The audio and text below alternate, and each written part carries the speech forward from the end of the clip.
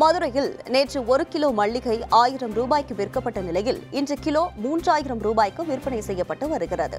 மதுரை மாட்டு தாவணி பேருந்து நிலையம் அருகே உள்ள மலர் வணிக வளாகத்தில் பல்வேறு மாவட்டங்களில் இருந்து பூக்கள் கொண்டுவரப்பட்டு விற்பனை செய்யப்பட்டு வருகின்றன.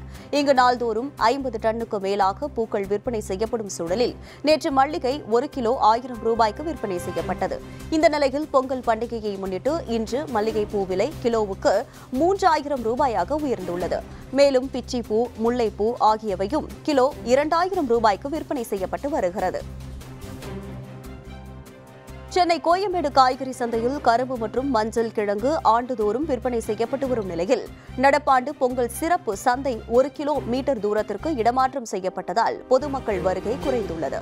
இதனால் விற்பனை முற்றிலும் பாதிக்கப்பட்டுள்ளதாக வியாபாரிகள் மற்றும் விவசாயிகள் வேதனை தெரிவித்துள்ளனர். எனவே கடந்த ஆண்டு போலவே இந்த ஆண்டும் கோயம்பேடு சந்தையின் வெளிப்புறம் விற்பனை செய்ய அரசு அனுமதிக்க வேண்டுமென வியாபாரிகள் கோரிக்கை விடுத்துள்ளனர்.